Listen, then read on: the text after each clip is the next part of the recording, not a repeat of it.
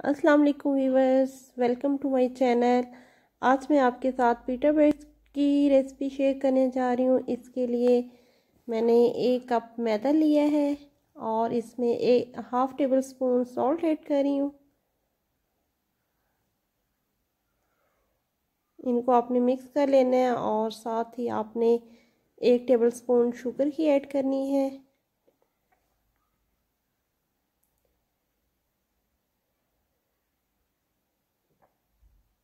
और यहाँ इंस्टेंट चीज़ जो है वो मैं इसमें ऐड कर रही हूँ वन टेबल स्पून भर के।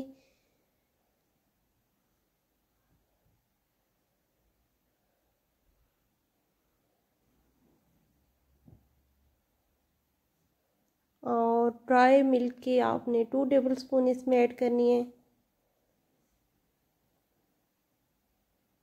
और टू टेबल स्पून आपने ऑयल इसमें ऐड कर देना है। इन सारी चीज़ों को अच्छी तरह मिक्स कर लेनी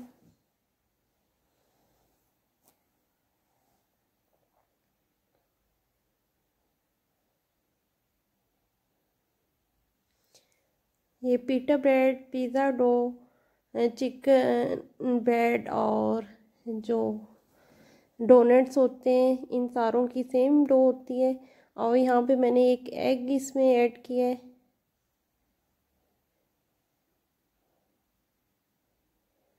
ये जो बेकी के सब एटम्स होते हैं, उसमें ये डो चल जाती है। अच्छी तरह मिक्स करके और आपने इसे फिर रूम टेम्परेचर पानी के साथ गूंद लेना है।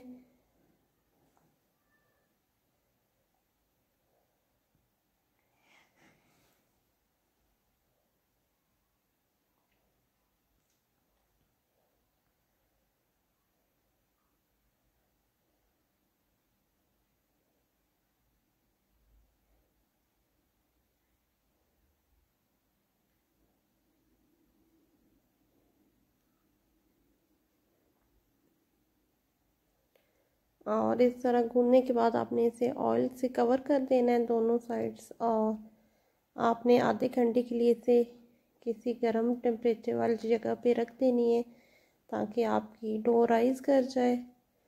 और राइस करने के बाद मैं आपको दिखाऊँगी कि किस तरह हमने इसे मसल के इसमें से एक्सेसिव एयर को निकालना है। तो अब आधा घंटा हो गया तो इस तरह आपने के जो मैदे को आपने फैला लेना है और डो में जो एयर होती है उसको आपने निकालना है।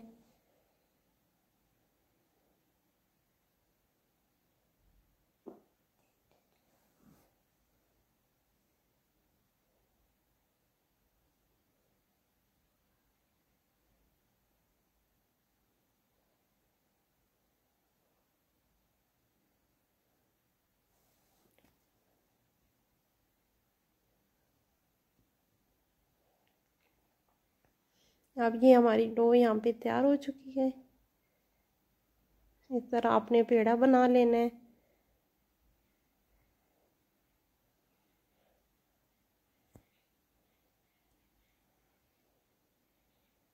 और इसको हमने अब चार या पाँच पेड़ों में काट लेना है।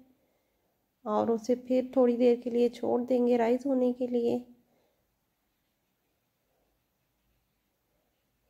इस तरह आप नाइफ़ की मदद से पेड़े काट लीजिए।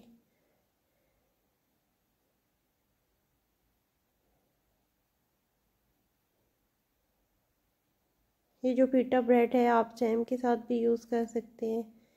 और शर्मा वगैरह में, और इसका पीटा ब्रेड की डो पे आप पिज़्ज़ा भी बना सकते हैं। इस तरह पेड़े बना के आपने रख देने हैं पंद्रह से बीस मिनट के लिए ढाम के कपड़े के नीचे। और फिर आपने इसकी रोटी बेल लेनी है, छोटी सी जैसे पीटा ब्रेड की होती है।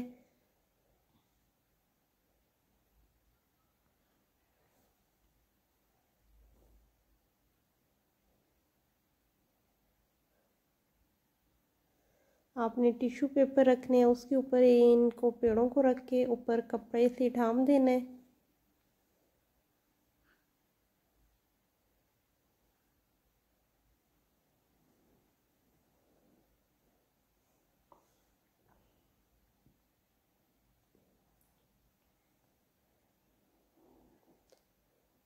और यहाँ पे आपने 10 से 15 मिनट बाद इसे बेल के और थोड़ा सा ऑयल लगाना है तवे पे और रोटी बना लेनी है। और यहाँ पे हमारी पीटा ब्रेड